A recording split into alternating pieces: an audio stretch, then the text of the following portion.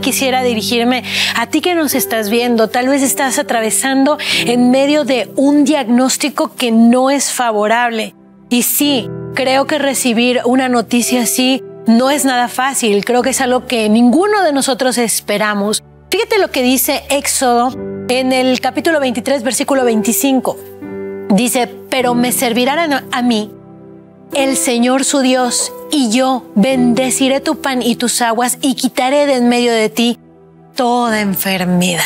Esto es una, una promesa hermosa de parte de Dios que creo que si tú te acercas con un corazón lleno de fe, de esperanza, Dios te la puede dar. Y estoy aquí, eh, sí, para decirte que Dios puede hacer un milagro en tu vida, porque Dios es poderoso para hacerlo. Sin embargo, yo no te quiero prometer a lo mejor que en este momento Dios te va a sanar. Dios tiene un plan especial para la vida de cada uno. Pero lo que sí te quiero decir es que Dios te promete vida eterna. Esta vida está en su Hijo. El que tiene al Hijo tiene la vida. El que no tiene al Hijo no tiene la vida. Sí, Dios puede sanarte, pero lo más importante, por lo que Cristo vino a morir en la cruz, es para sanarte en tu corazón. El pecado que nos aleja de Dios y estar separado de Dios es la peor condena y el peor diagnóstico que nos pudieran dar. Estar separado de Dios. Hay algo que dijo Travi que me pareció sumamente importante en el momento en el que él recibió la noticia. Dijo, Dios, mi vida está en tus manos. Yo sé que si en este momento tú decides que yo parta contigo, voy a estar contigo y confío en eso. Mira, no sabemos cuándo nos toque el día de partir de este mundo, pero lo que sí podemos estar seguros es que Dios nos rescatará de las manos de la muerte y nos va a dar vida. Esta es la gran esperanza. La gran esperanza es que esto que conocemos no es todo lo que tenemos tenemos la presencia de Dios y la promesa de pasar con Él el resto de la eternidad. Esto, nuestro pasaje por el mundo es solamente un instante, un abrir y cerrar de ojos comparado con la eternidad. Escucha esto y esta es una palabra que quiero decirte para ti. Dice Jesucristo, yo soy la resurrección y la vida. El que cree en mí vivirá, aunque muera y todo el que vive y cree en mí no morirá jamás. ¿Crees esto?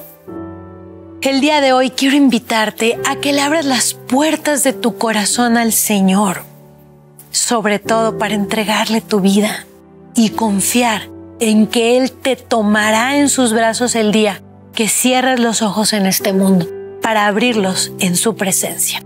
Cierra los ojos y repite después de mí. Dile, Señor, el día de hoy quiero pedirte perdón, porque sé que he estado muy enojado o muy enojada contigo.